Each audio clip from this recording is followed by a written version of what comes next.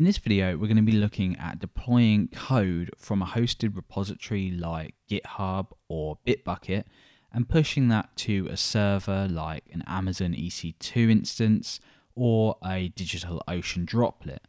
Now I'm going to be using GitHub in this case and I'm going to be using DigitalOcean to create a droplet and we're going to be using dploy.io to actually deploy this. And this makes it really easy to actually deploy your application and keeps it all in one place and keeps it really nice. I've used a couple of different websites that work like Dploy, but I found that Dploy has the most options and it's also really easy to set up as well. So as you can see, I have a GitHub repo here. Um, it's called Hello World, and I basically just have one file in here, one commit, and this just says Hello World. Uh, in, in real life, your application will obviously be a lot larger, um, but in this case, I'm just going to use this as an example. And you can see the result of this here. So by the end of the video, we'll have deployed this, all of the code in this repository to a DigitalOcean server. So regardless of what server you're using, I'm going to go ahead and set this up now. So I'm going to create a new droplet in DigitalOcean. If you've not already signed up with DigitalOcean, go ahead and feel free if you want to. So I'm going to not really choose uh, too many different options here. I'm just going to hit create droplet. Now that's going to create my droplet for me and I'll get a username and a password just emailed to me. You can add an SSH key here. Uh, it really depends on your, uh, you know, how you want to work with this. Okay, so once your droplet's created, we're going to open up a terminal and SSH over to our server. If you're using something like Windows, you can use PuTTY to do this. So once we're connected, the first thing we want to do is install Apache just so we can test that this works via an HTTP server. You can obviously set up your droplet however you want to with the services you need, etc. etc. So I'm going to first of all update apt. And now that that's done, I'm going to install Apache. So what we're now interested in is where our public files are located. Um, in this case, it happens to be in var www html, uh, but this will differ depending on the server that you're using. Now you can see that we've got index.html in here by default. So if we actually go over to a browser window of our IP address, we'll sh we should see the default Ubuntu Apache page and here's the default page that we would see. So as long as you've got this working and you know the directory where your public files are stored, we can use dploy.io to copy the files from our GitHub repository over to our public directory. So we'll leave this open because we'll need this later on. Now what we're going to do is inside of dploy.io, we're going to connect a repository. So you're going to need to provide your GitHub, Bitbucket, or self-hosted details here.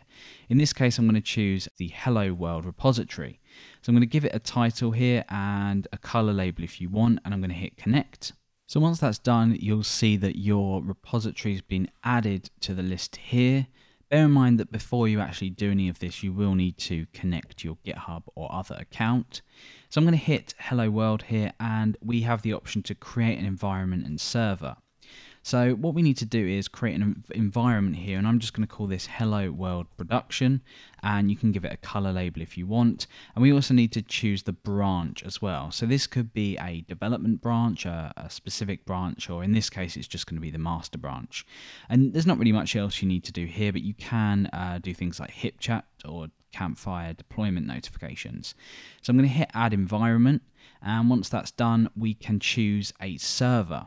So you can see the options here and depending on when you're watching this video there may be additional uh, options when you come to use this. But in this case I'm going to hit DigitalOcean and click next step. So I'm going to call this hello world server. The repository path we can just leave as a forward slash.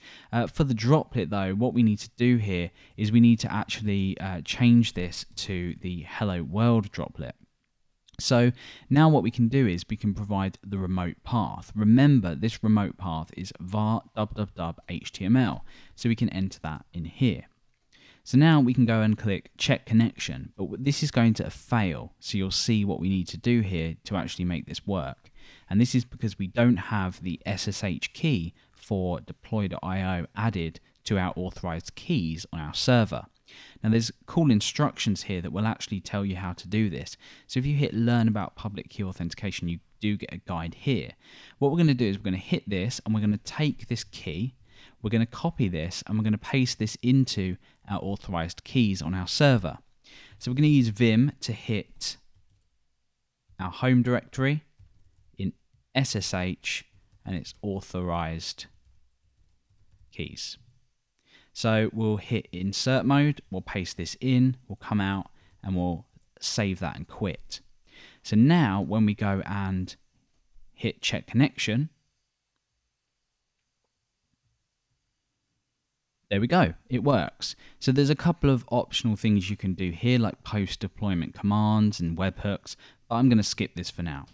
So we're now ready to deploy. So on our server here, what's now going to happen is when we deploy from our GitHub repo, this is then going to be copied over to our public HTTP directory. So let's click deploy. We have the option to choose a revision and we can enter some deployment notes here. I'm not going to do this. So I'm going to hit re review and then I'm going to hit start deployment. So that's now deploying. If we just refresh the page, there's not a lot of files here, so that should be done now. And when we go over to our server, you can see that that's been deployed.